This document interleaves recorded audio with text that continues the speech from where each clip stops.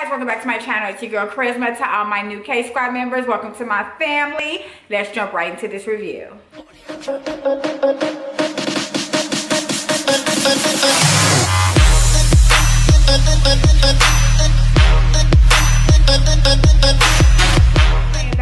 wig review. Today we're talking about the Outre Sleek Lay Part Lace Front Wig. Her name is Idina. I have her in the color number one. This was sent to me in collaboration with Sam's Beauty, so thank you for sending me this gorgeous unit. I did promise my subs that I would start reviewing older units from time to time that I have missed out on in the past and this is another one that I did miss out on in the past. Like I said in my other review with my other uh, throwback wig, sometimes I review so many uh, new released wigs that I just don't even have the time to put in for the you know, older units. So whenever I get time, I don't mind doing it at all. And Idina is one of those that I kind of have my eye on anyway. So let's just go ahead and jump right into this review. So let's start with the cap construction. This is your standard two combs in the front, one comb in the back with your adjustable straps. This is a nice fitting cap. This is going to be big head girl friendly, definitely. It comes with a wider hand tag lace part, extra hand tied lace edges, a pre-plucked hairline, five deep edge lace part, humpless leg finish, and this is heat friendly safe up to 400 degrees now i have reviewed the sleek lay before i forget the name that i did her in but i did like the sleek lay i forget what the the name of the unit was but the sleek lay is being marketed as it's sleek, meaning that it lays completely flat to your head. And I can definitely attest to that. This definitely lays flat to your head and I do like that about the unit. Just went ahead and got her in color number one, but this does come in 10 different colors. And just keep in mind, if you want a specialty color, you're gonna pay upwards to two or four dollars extra for your specialty color. Now, like I was saying, it does lay flat to the scalp and I do like that about the unit. She also looks exactly how she looks on the stock car when I took her out the unit. This is sitting nice at $35.99. I personally think this could have been priced a little lower, but that's just my own you know, my own opinion, ma'am. But I think that it definitely could have been at $25.99 just because, uh, first of all, the density is not that great on this unit. She's fairly thin.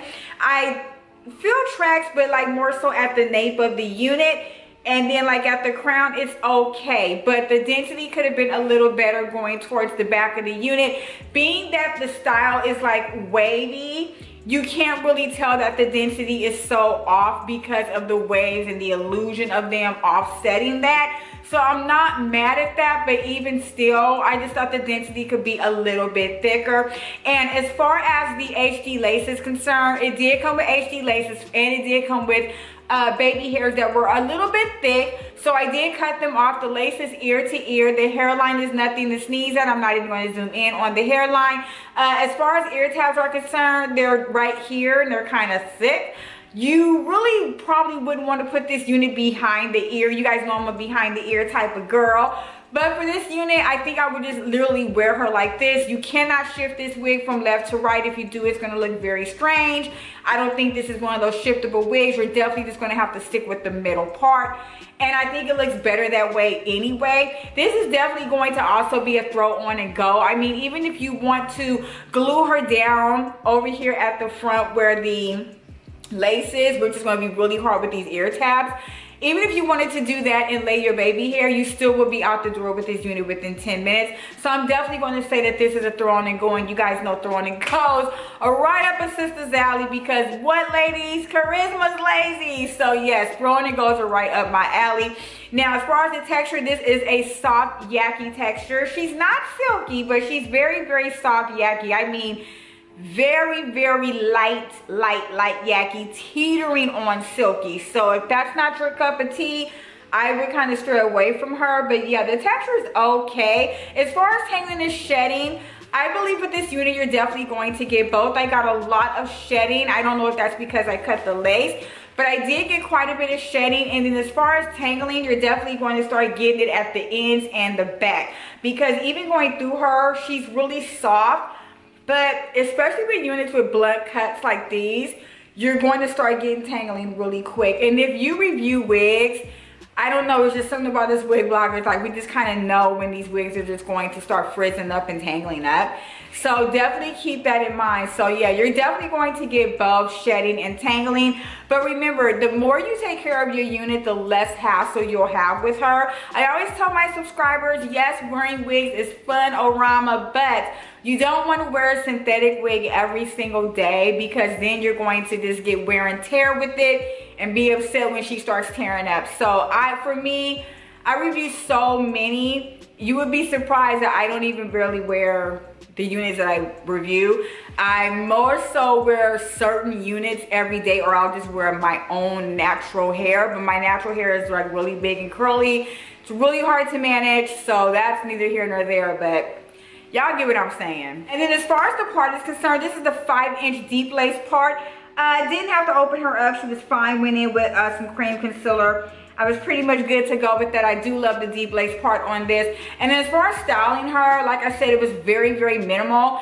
Took a wax stick, took my hot comb, flattened out the crown. Since this is a sleek lay unit, it really wasn't much to do because the unit already lays flat to the head. But I wanted it to lay even flatter. So just took a wax stick, my hot comb, went over the crown and I was pretty much good to go. I do like that the style is super natural. I love that the hair looks very natural.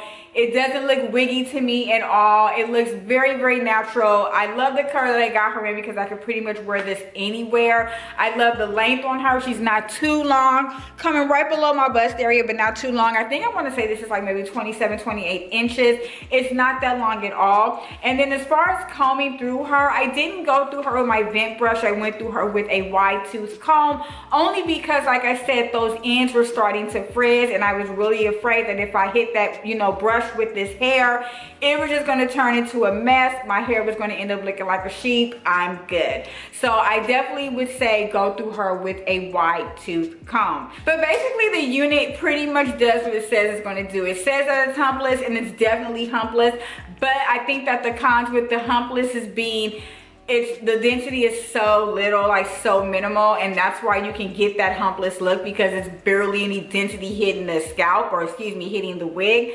So there's pros and cons. I like that it's humpless i like that it lays to the scalp. But you have to sacrifice density for it. So i would just keep that in mind. And the other con like i said i don't think that it should have been priced at $35.99 it definitely should have been at the $25 mark but other than that, I'm not mad at her at all. I think that she's really, really cute. Just a quick little cute throw in and go, you know, you could pretty much probably if you wanted to even wear this every day, you know, I mean, she's just cute, quick. I think Outre did a good job with this. That's pretty much it for this review. If you enjoyed my content today, don't forget to click the thumbs up button. Also, push that subscribe button while you're here. And don't forget to follow me on all social media at Kharizma World on Instagram, TikTok, Snapchat, and Twitter. And until next time, dolls, I'll see you guys in the next video. Stay beautiful and blessed. Bye.